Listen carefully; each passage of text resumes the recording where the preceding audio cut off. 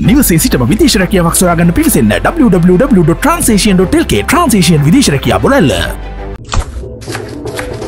දිය මස් ගොඩ මස් දඩ මස් රසම හොයන අයට සන්දඩයන් සෝයාමීට්.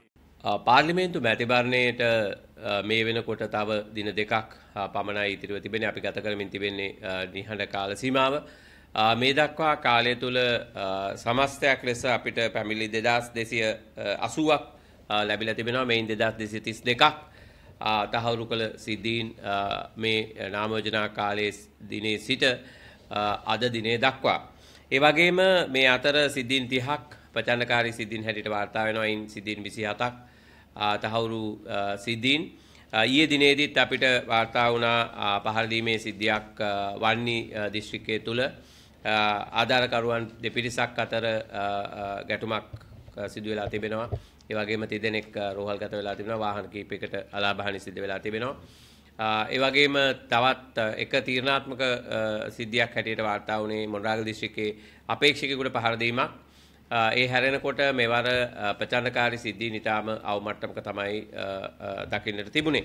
ඒ වගේම රාජ්‍ය බලය සහ රාජ්‍ය දීපල අවභාවිතාවට අදාළ සිද්ධීන් 20ක් අපිට සමස්ත කාලය තුල වාර්තා වෙලා තියෙනවා. ඉන් 19ක් තහවුරු සිද්ධීන් හැටියට වාර්තා වෙනවා.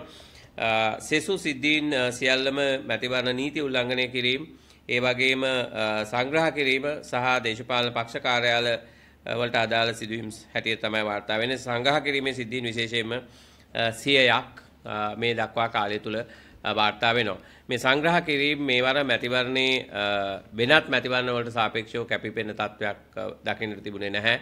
නමුත් අන්තිම දින කීපය තුල මේ සංග්‍රහ කරන්නට විවිධ ආකාරයේ අල්ලස් ලබා දෙන්නට අපේක්ෂකයින් උත්සාහ කිරීම පිළිබඳව වාර්තා වෙලා තිබුණා. සමහර ප්‍රදේශවල මත්පැන් සමග ඔවුන්ගේ ප්‍රචාරක පත්‍රිකා අලවලා ප්‍රදර්ශනය කරන්නට නැත්නම් ඡන්දදායක අතරට යවන්නට උත්සාහ කරපු අවස්ථා තිබුණා. මුදල් බෙදීම පිළිබඳව සිද්ධියක් අපිට වාර්තා වෙලා තිබුණා. ඒ වගේම ද්‍රව්‍යමය ආධාර සම්බන්ධයෙන් වාර්තා කීපයක් තිබුණා.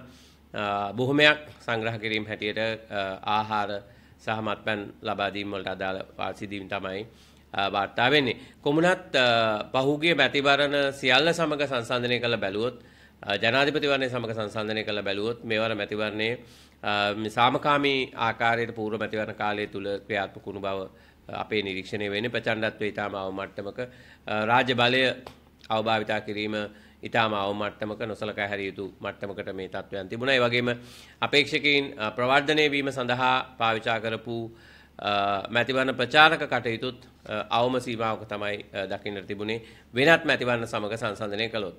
හැබැයි අපි දන්නවා දැනටමත් මේ නිහඬ කාල සීමාව තුලත් තවමත් ප්‍රචාරණ කටයුතු සිදු කරමින් තිබෙන බවට අපිට වාර්තා අද දවසෙත් පැමිණිලි 15කට ආසන්න ප්‍රමාණයක් මේ නිහඬ කාල සීමාවට අදාළව වාර්තා වෙලා තිබෙනවා. අපි ඊයේ පොලිස්පතිවරයාට ලිඛිතව දන්වලා ඇව්වා ඊයේ දිනේ වෙනකොට අපි හඳුනාගත්ත මැතිවරණ කොමිසමේ ප්‍රමිතීන් වලට අනුගත නොවූ කාර්යාල 545ක් අපි ලංකාව පුරා අධ්‍යයනය කරලා යොමු කරලා තිබෙනවා.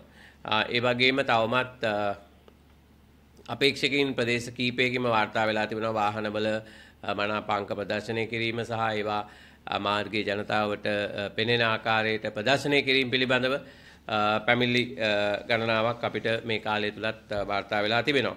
ඒ වගේම සමාජ මාධ්‍ය අන්තර්ජාල මාධ්‍ය හරහා ප්‍රචාරණ කටයුතු තවමත් නව නවතා නොමැති බව තමයි අපේ නිරීක්ෂණය වෙන්නේ. මේ සමස්ත කාලය තුල සමාජ බාධ නිරීක්ෂණය කිරීම සඳහා අපි විශේෂ වැඩපිළිවෙලක් තරුණ පරපුර සමග සිදු කරමින් තිබුණා මැතිවරණ කොමිසම සභාවත් සමග ඒකාබද්ධව මේ කාලය තුල නිශ්චිතව මැතිවරණ නීති උල්ලංඝනය වීම ඒ වගේ මැතිවරණ කොමිසමේ උපදෙස් සහ උපමාන උල්ලංඝනය වීම වලට අදාළව සහ කමියුනිටි ස්ටෑන්ඩඩ් වලට අදාළව අපි පැමිණිලි 500ක ප්‍රමාණයක් මැතිවරණ කොමිසම සභාවට යොමු කරලා තිබෙනවා. මේ සමාජ මාධ්‍ය වලට අදාළව. නිවසේ සිටම විදේශ රැකියාවක් සොයාගන්න පිවිසන්න www.transation.lk ට්‍රන්සේෂන් විදේශ රැකියා බොලල්ල. දිය මස් ගොඩ මස් දඩ මස් රසම හොයන අයට සන්දඩයන් සෝයාමීට්. හැබැයි වෙනත් මැතිවරණවලදී ආකාරයටම ජාතිය ආගම ජනවාර්ගිකත්වය වැනි කාරණා මතු කරමින් ප්‍රචාර කටයුතු සිදු කිරීම මේ වර මැතිවරණයේ අපි දැක්ක ඉතාම අඩු ප්‍රමාණයකට ඒ නිසා තමයි මේක 500ක වගේ සීමාවකට මේක අවම කරගන්න පුළුවන්කම ලැබිලා තිබෙන්නේ. හැබැයි ඊයේ රාත්‍රියේ සිට ඊයේ මධ්‍යම රාත්‍රියේ සිට අද උදෑසන 10 වනකොට සමාජ මාධ්‍යවල මුදල් ගෙවා පළ කරන ඇඩ්වර්ටයිස්මන්ට් 341ක් මේ වෙනකොට අපි මැතිවරණ කොමිසමට යොමු කරලා තිබෙනවා අද උදේ 10 වෙනකොට මේ 341ම පැහැදිලි ලෙසම අපේක්ෂකයින් මුදල් ගෙවා ප්‍රචාරණය කරන ඇඩ්වර්ටයිස්මන්ට් හැටියට තමයි වාර්තා වෙලා තිබෙන්නේ. අපි අපි අපි විශ්වාස කරනවා මේ මොහොත වෙනකොටත් ඒවා ඉවත් කරන්නට මැතිවරණ කොමිසම අදාළ අන්සෝල්ට උපදෙස් ලබා දෙන්නට ඇති කියලා. නිහඬ කාල සීමාව සාමාන්‍යයෙන් මේ සමාජ මාධ්‍ය විශේෂයෙන්ම Facebook කණ්ඩායම් ඒ ආයතන නිහඬ කාල සීමාව තුළ මේ ලබා දෙන පැමිණිලි සම්බන්ධයෙන් වේගයෙන් ක්‍රියාත්මක වීම දකින්නට තිබෙනවා වෙනත් මේ සාමාන්‍ය ප්‍රචාරණ කාලෙට වඩා. ඒ වගේම අපි සියලුම දේශපාලන පක්ෂවලටත් ඒ වගේම අපේක්ෂකයින්ටත් අවධාරණය කරන්නේ ඔබට දවස් 35ක කාලයක් ලබලා දීලා තිබුණා තමන්ගේ ප්‍රචාර කටයුතු ගෙනියන්නට තමන්ගේ මනාපංකය සමාජගත කරන්නට තමන්ගේ වැඩපිළිවෙල ඡන්දදායකයට ගෙනියන්නට.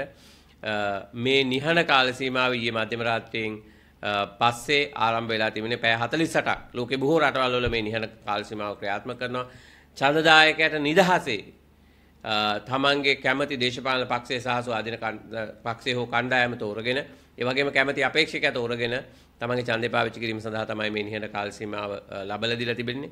ඒ නිසා මේ කාලය තුල ඍජු හෝ වක්‍ර ප්‍රචාර කටයුතු සිදු කිරීමෙන් වළකින හැටියට අපි සියලු දෙනාට මතක් කරනවා.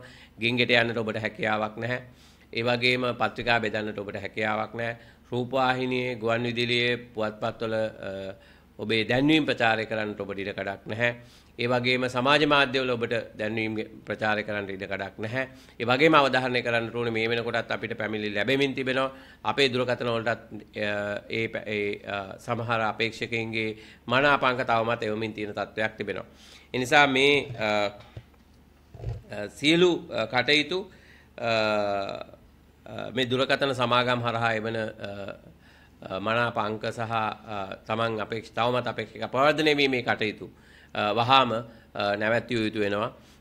ඒවා තවදුරටත් ක්‍රියාත්මක කළොත් ඔබ මැතිවරණ ඉදිරියේ බැරදකරුවෙක් බවට පත් වෙන්නට පුළුවන්. විශේෂයෙන්ම අපි අවධාරණය කරන්නේ මේ මැතිවරණයේ පාර්ලිමේන්තු මැතිවරණයේ නීති ව්‍යවස්ථාදායකයටයි ඔබ තෝරාපත් කරගන්නේ. ඒ කියන්නේ රටේ නීති සම්පාදන ක්‍රියාවලියටයි ඔබ තෝරාපත් කරගන්නේ ජනතාව විසින්. ඒ නිසා ඔබ තවදුරටත් මේ නීති උල්ලංඝනය කරනවා නම් ඔබ නීති සම්පාදනයේට නුසුදුස්සෙක් බව තමයි ඔබ ප්‍රායෝගිකව ඔප්පු කරමින් තිබෙන්නේ. ඒ වගේම ඔබ තවදුරටත් අපේක්ෂ තමන්ව ප්‍රවර්ධනය කරන්නට මේ නිහඬ කාල සීමාව තුලත් කටයුතු කරනවා නම් එයින් ගම්ම වෙන්නේ ඔබට ඔබ ගැන ඔබේ ජයග්‍රහණය ගැන තවදුරටත් විශ්වාසයක් නොමැති බව. එනිසා මේ ආකාරයට නීති විරෝධී ප්‍රචාරණ කටයුතු සිදු කරන්නට එපා. ඔබට හැකියාව තිබෙන්නේ ඔබේ කාර්යාලය පවත්වාගෙන යන්නට පුළුවන් ඡන්ද මධ්‍යස්ථාන ආශ්‍රිත කාර්යාලය අද රාත්‍රී 12 වෙනකම් පවත්වාගෙන යාමේ හැකියාව තිබෙනවා. ඒ වගේම මධ්‍ය කාර්යාල කොට්ටාස මට්ටමේ තියෙන මධ්‍ය කාර්යාලයත් ඒ වගේම දිස්ත්‍රික්ක මට්ටමේ තියෙන කාර්යාලයත් ඔබට මැතිවරණ දිනේ දක්වා පවත්වාගෙන යාමේ බාධාවක් නැහැ. මැතිවරණ කොමිසම නීතියට අනුව ඒ සඳහා ඉඩකඩ ලබා දීලා තිබෙනවා. ඒ වගේම අපේක්ෂා ගමන් කරන රටේ පමණක් ඔබට ඔබේ මනාපංකේ ප්‍රදර්ශනය කිරීමට තවදුරටත් ඉඩකඩ ලබා දීලා තිබෙනවා. නිසා වෙන කිසිදු ආකාරයක ප්‍රචාර කටයුතුක් සිදු කරන්නට එපා. බෝධි පූජා තියන්න උත්සාහ කරන්න එපා.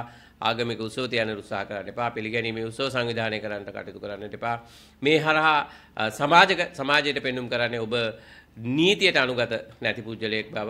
ඒ වගේම ඔබට ඔබේ ජයග්‍රහණය පිළිබඳව තවදුරටත් විශ්වාසයක් නොමැති පුද්ගලයෙක් හැටියට. නිසා අපි විශ්වාස කරනවා මේ රටේ මැතිවරණ සංස්කෘතිය මේ රටේ දේශපාලන සංස්කෘතිය වෙනස් කරන්නට මේ දක්වා මේ තරඟ වැදුණු දේශපාලන පක්ෂ 49ත් ස්වාධීන කණ්ඩායම් 284ත් ඒ වගේම අපේක්ෂක 88888ම අඩු වැඩි වශයෙන් මේ දේශපාලන සංස්කෘතිය වෙනස් කරන්නට මේ සාධනීය මැතිවරණ පරිසරයක් පවත්වා ගන්නට ඔබ දායක වෙලා තිබෙනවා.